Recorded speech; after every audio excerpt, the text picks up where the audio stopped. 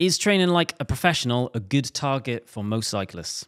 Um, I would say in the majority of cases, at least initially, no. I think it's something that people, a mistake that people quite often make whenever they either are just starting or whenever they decide to kind of step it up from the level that they're currently at, is that they they look too hard at like the top end specifics of what the pros are doing because there's so much information now about what everyone's doing and kind of uh, and I think generally cyclists are just so keen to latch onto those things and try to apply them to their own training. But I just see so many examples of people who are focusing on those, if you think little things like the cherry on the top of the cake when they're not actually really they haven't got the base sorted yet. You know? Yeah. They're they're focusing too much on those niche little things and neglecting gaping holes and uh, just the very very obvious things that need to be need to be dealt with. So I am 100% one of those people. I'm the worst kind of athlete back in my day. So I was working full time and I specifically like to the words I used to tell people I want to train like a pro and see what happens. So like I didn't have a childhood. I used to play sports and was active as a Didn't have a kid. childhood. well, no, I, I guess I did have a childhood. Is, is is probably a better way of putting it. I wasn't a, a standout athlete as Yeah. as a child, like Yeah. some people are, which is what then grooms them into. You know, I imagine Jobber was probably a really good athlete when he was in school. I wasn't one of those people, so I Yeah. wasn't like naturally groomed into sport. So when I came at it uh, in my mid twenties. It was like right, so I'm going to see what I'm capable of. I'm going to see how fast I can be at this, this Mm-hmm. w- whatever at the time. And that's commendable, obviously.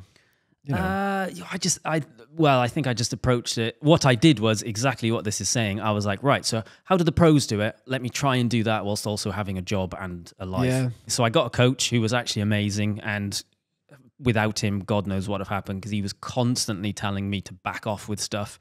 Uh, and telling me off where it was like that was meant to be an easy session. Why were you at threshold? I was like, oh, it was fun. Um, so I was I was training upwards of 20 hours a week as well as having a full-time job so i was training in the morning in the evening on the weekends just all of the time and it was just not very healthy do you find people still doing these kind of things in Oh, yeah, this I day mean, and age all the time, all the time. It's it's just it's a commendable thing to set you know high targets for yourself and be be keen and you know all those things are good, but it's just a case of I think only starting from where you're at and not trying to jump forward. You know, three steps. Just just focusing on what you're doing, making improvements to that, and then you know changing the ethos. I think that um, a lot of the time, whenever I take people on, they're quite often surprised at how the training is easier than what they would have expected, or a, big proportion of the training is at a lower intensity from what they expect. Yep. I think that um, people have this idea that you need to smash every session, and if you don't finish every single session, you know, knackered, then you haven't done it properly. And um, I think there's also a even when you are basing your training on what the pros are doing, like the pros tell you about that really hard session that they did with loads of savage intervals and or you know they're going and re- reconning mountain stages or like cobble sections or whatever like they tell you the fancy stuff but they, they don't tell you about what they do 80% of the time which is actually not all that different from what you're doing. So it's all about getting the right proportions of the right intensities. Mm-hmm. and quite often people are surprised by how little of the hard stuff that involves. Yeah. It's easy to fall into the trap of trying to recreate their watts rather than try to recreate their intensity actual i guess isn't it? what their body's really doing and um yeah and just and neglecting the basics like sleep above anything get your cycle right. If you're combining it with a job and a family it's all about those things that are just rigid. You can't move those things. You might be able to you know slightly change your working hours or whatever but at the same time you need to earn money. And you're not a pro yet.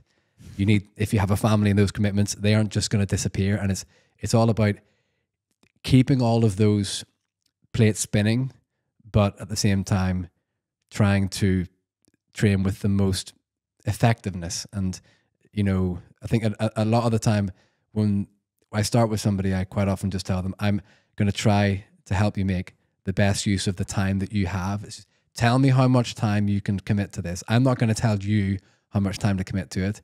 You tell me how much time you've got, and we're just going to try and reasonably and sensibly make the best use of that. And to me, that's the most sensible thing you can do. What's your opinions on like the effects of cycling marketing and how that trickles down into uh, normal people's lives, like uh, the marketing around nutrition and bike weight and aerodynamics and all of that stuff? I, I kind of feel I spend a lot of time telling people that these things are not worth it, or that you know, um, to not look at these niche things. And I don't want people thinking that I don't believe in the benefits of those things. I think I'm not saying those things have no benefit at all. Mm-hmm. Or, you know, you're talking about nu- nutritional products. Yes, absolutely, they will be better. But it's just a case of how much difference do they make? You know, it, you know, if, if I was when I was doing a professional bike race, I wanted to make sure I was on the best bike. I was eating the best stuff. I was as well prepared as I possibly could be because mentally, as much from my, from my mind, I needed to believe that I'd had the be- best preparation possible. Mhm. There was just like a comfort in knowing that, okay, everything, everything's in place here for me to perform at an elite level. Absolutely. But I think we are talking to those people who are not at that point. They, they might be doing, they might just be out with their cycling club or they're doing a gravel event or whatever. And it's, it's, are these, and, and these people are the ones that have got, that got the money. And it's quite often those people that are just having all these fancy things, but like leaving massive gaps as well. Yeah, I, I guess. doing. th- I guess one of the anomalies is just rich people that can just buy a fifteen grand bike and go and race Yeah. crits on, and if they crash it, they don't. It doesn't Yeah, matter. yeah, yeah. If I was going to get a coach, I would without a doubt work with you and James because I am at the point where I know having a ten thousand pound bike or a two thousand pound bike isn't really going to make a difference to me because the only thing that actually holds me back now is riding hmm uh, actually doing it and what sessions to do and making it fit with my life and all of that Mhm. kind of stuff. Um, but then you know, if if someone can afford the best nutrition in the world and the best bike in the world and the best wetsuit in the world, if they're a triathlete and the best trainers, you know, sure, fine, whatever.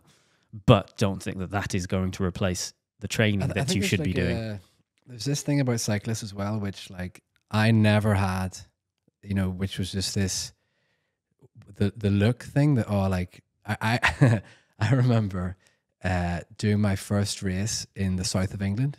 So we're talking 2008, and I'd been racing for you know I'd, I'd already been at university in Newcastle racing in the north.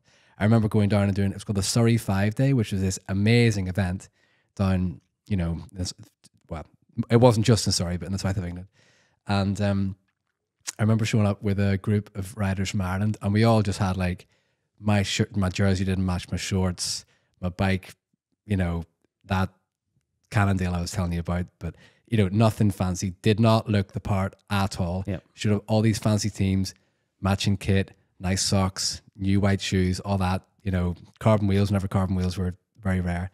I remember thinking, right, okay, this is gonna be these guys look these guys look good. Okay, so I'm gonna I'm gonna be on for a hard day here. And I won the bike race in, Congratulations. you know, not matching my shorts didn't match my jersey. You know, it's just Yeah. because all those things that all this look, all that it was just this uh, environment of kind of how you look being more important than what, what's actually underneath underneath the bonnet. that leads us really nicely into talking about the pro look, um, which I think a lot of people get into their head. And it is more than, you know, it's having the right bike, it's being the right weight, it's having a bike that weighs under a certain amount of kilos, um, and kind of trying to emulate the pro cyclist look. Like, for example, do you shave your legs still? No, I and I used to shave my legs before my first bike race. I never shaved my legs through the winter, even when I was racing full time. Yeah. and I would shave my legs if I was doing a bike race.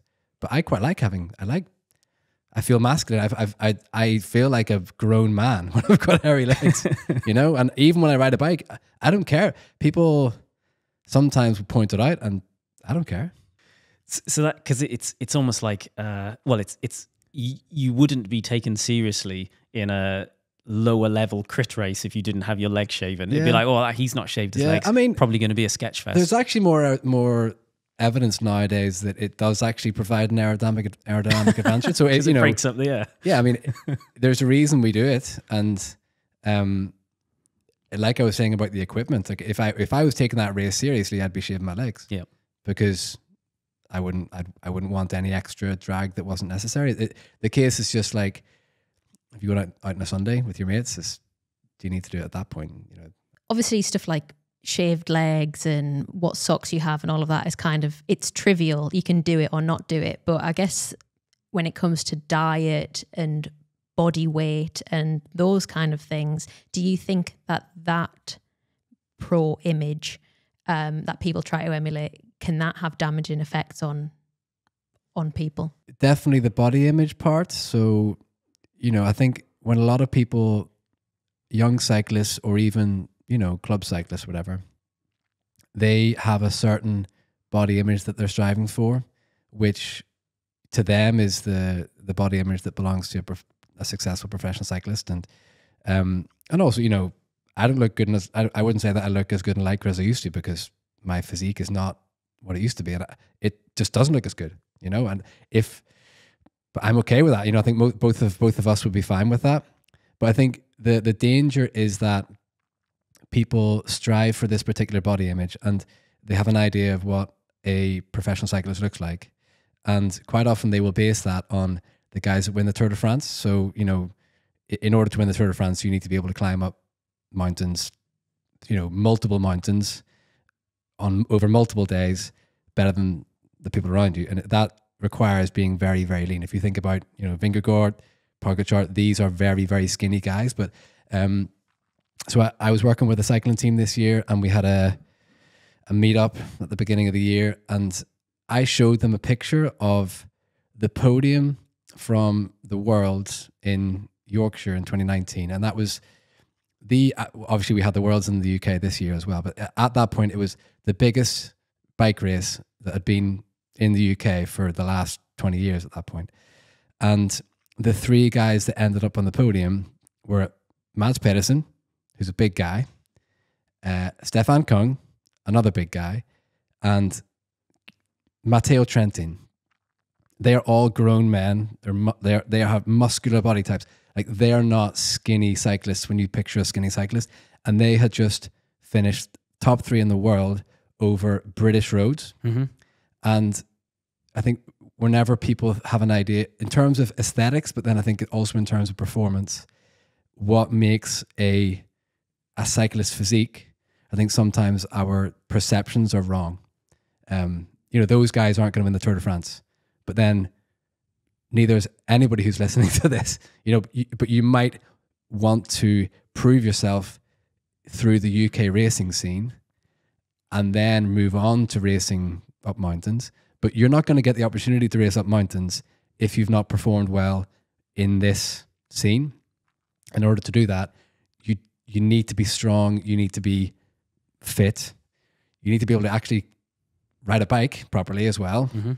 Yeah, I think I think the, the the perceptions are very very different. You know, you think about Wiggins whenever he won the Tour de France, he slimmed down. There was four years when people picture Bradley Wiggins, they think of him when he was as lean as he was when he won the Tour de France, but that was only a period of about four years where he was targeting Grand Tours. Whenever he was targeting, you know, pursuits, or he put on weight in order to win the Olymp- the World TT Championships in 2014, and then to compete for the pursuit team in, in the Olympics in 2016. You know, so he he was adapting his physique in order to fit what he was targeting.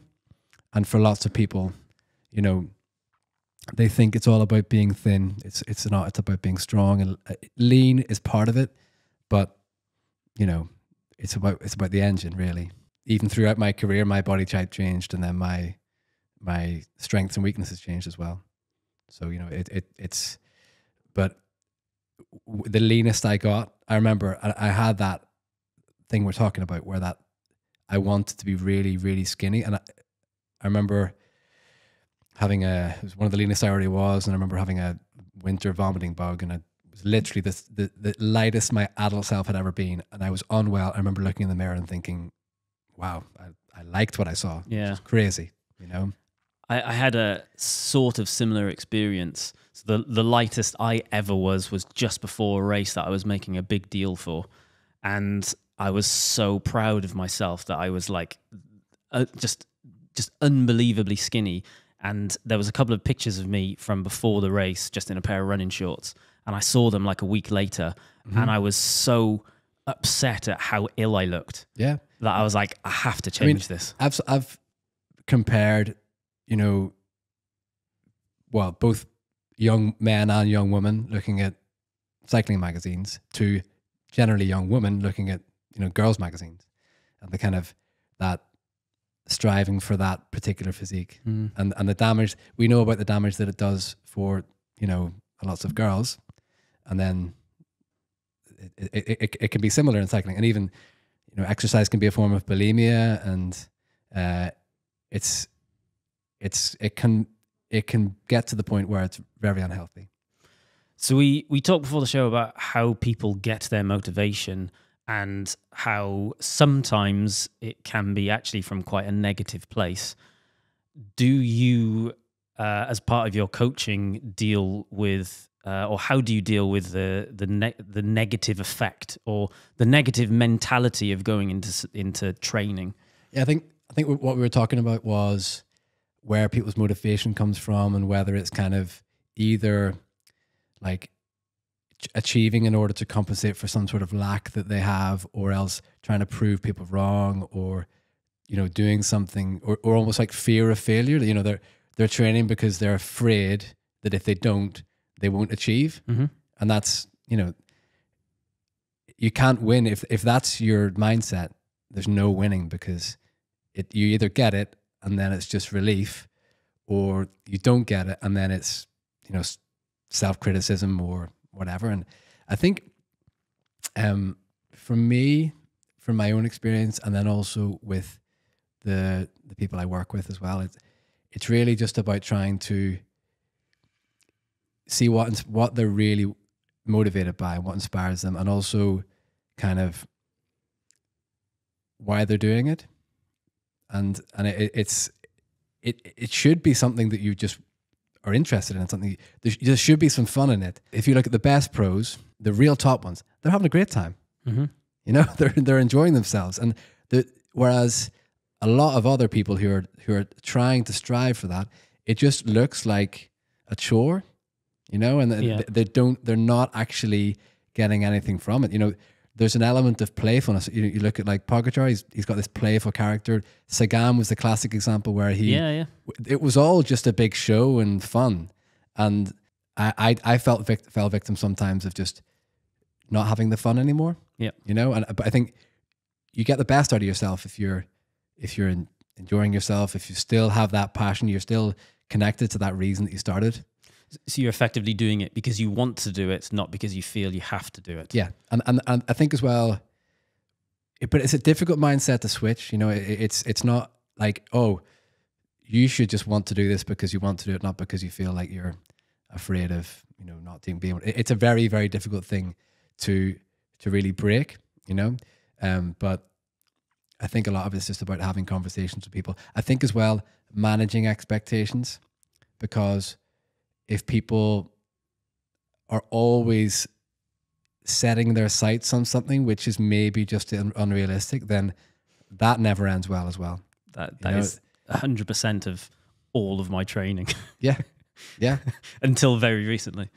it's just like for example if you try and just recreate recreate some watts that are unrealistic then hmm.